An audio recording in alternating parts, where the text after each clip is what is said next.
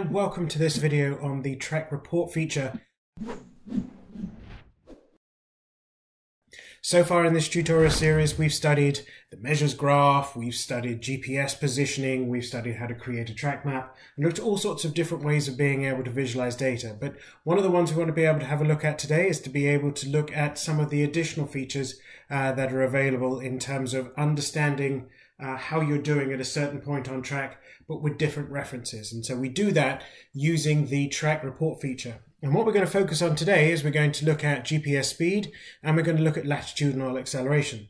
So far in our series, we've studied longitudinal acceleration where we've talked about down being braking and up being accelerating. However, latitudinal acceleration talks about left and right hand turns and it also measures this in g-force. And so it gives you a great way of being able to identify just how much force you're putting on the car uh, in the corners to be able to identify if you are indeed using all of um, the grip capability and the car's potential in certain points or at certain points on track. And so um, what we're going to do is we're going to look at it uh, in this uh, new view. Now at the top here, you've got all of these different menus and we've studied a few of them um, already for these this uh, tutorial series. But what we're going to do is we're going to click on this icon up here. Looks like a map with a flag on it called the track report feature. I'm going to click on that and it's going to open up this view that is going to show uh, in a, a blended uh, color theme uh, certain pieces of information on track. And so before I explain how I set this up, let's just talk about what we're looking at here. What I've done is I've gone in and I've said I want to be able to see for the sectors that I've created. If you remember at the beginning of our um, tutorial series, we talked about creating a map. Um, and um, if we look in Map Manager, we've got this one set up with three sectors. This is the one that we're using right now as part of this.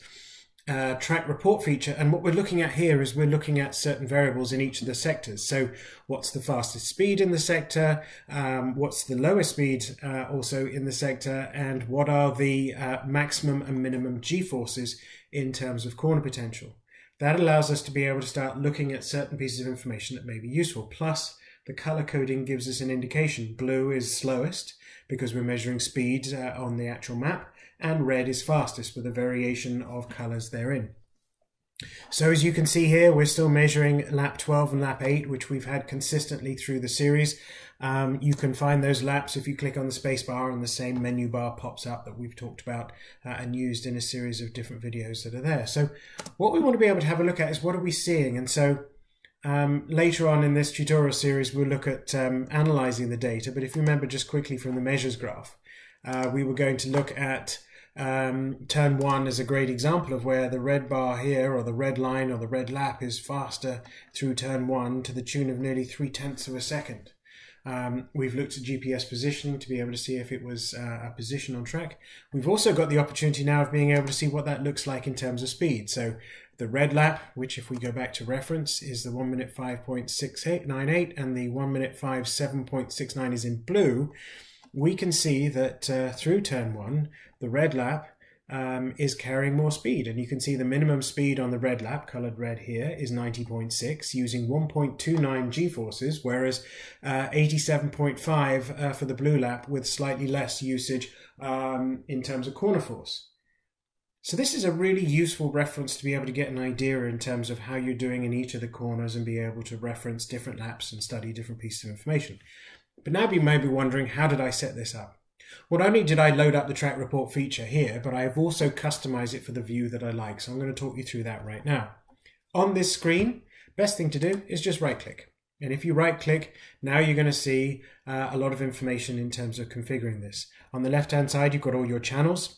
We're using an AIM Solo 2 for the channels we have here, so predominantly GPS based data. But if you've got any of the more advanced AIM solutions, you may be able to see a lot more channels that are there. Again, all viable for this track report feature. Um, what we've got here is we've asked for a minimum and a maximum to be shown plus a reference channel and the reference channel is an extra channel that you'll see as part of this analysis. If you turn this one off, all you would see is the track representation, which is speed, but we just want to see a little bit more here. Um, on this box here, we've got the representation and we've said speed. It could be any of these options, but speed makes sense. We'd like a smooth line that blends the colors. You could have it in chunks, but I actually like the, the, the smoothing of that. That's something to uh, play around with. And if you wanted to, you could divide it into the segments of the actual lap itself or the map that you've created. Again, I like it to be a smooth, uh, colored representation that is there. So that's going to give me the speed and it's going to show me minimum and maximum around the track. But I also want a reference channel, something else that I can look into and be able to analyze. So um, I've also got the reference channel that is here and I've asked for GPS lateral acceleration, again, measured in g-forces in a particular point uh, on the track. So I've referenced and I've selected that.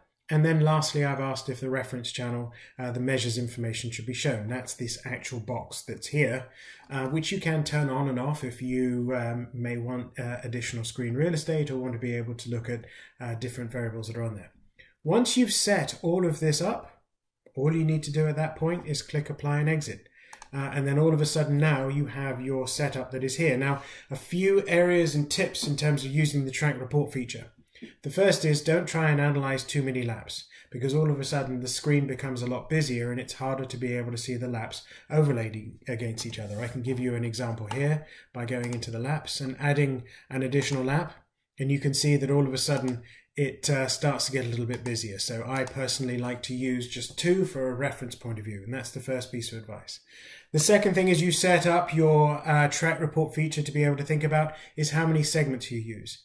If, for example, you happen to be using multiple segments, here we're using a map that has three, um, we can see just the three sectors. But if we go back to this map that's got more than that, and I can load it for the open segments, now the same data is being displayed, but across a lot more of those segments that were created by AIM in terms of left and right hand turns. Again, a useful feature if you wanted to be able to see minimum corner speed and break down each of the corners. But at the same time, as you can probably see here, it does get a little bit busy. So this feature works particularly well with simplified information. And so I'm going to go back to the map manager that is here. I'm going to go back to the three sectors that we created in a previous video. Uh, video. We're going to load for open tests. And again, we go back to that simplified view. So I know now for sector one, which is from start finish all the way down here before Maggotts, I am going uh, through this corner slightly better with more force. I can now compare that to the GPS view to be able to see did the line allow me to take a little bit more speed? And similarly, also to be able to study additional information because uh, one of the things that we also notice is that the blue lap, as we come down here um, to exit onto the uh, front straightaway, we notice that uh, the blue line is actually taking more um, speed uh, through that corner. But interestingly, the red is actually using slightly less, um, a slightly more g-force, and so that might be a tighter line that's holding the car up. It's it's bound up and, and can't release and, and, and find that speed. So we'll look at that in an analysis video, but this is the track report feature, which I highly recommend if you want to be able to look at some simple variables very quickly, cleanly on a map with a nice visual layout. So that's it for this video. Please give it a thumbs up if it was helpful to you. Please also leave a comment below if you want to let us know your thoughts. Don't forget to subscribe and hit the little bell icon to be notified of future videos. There's a lot more content to come. Thanks for watching.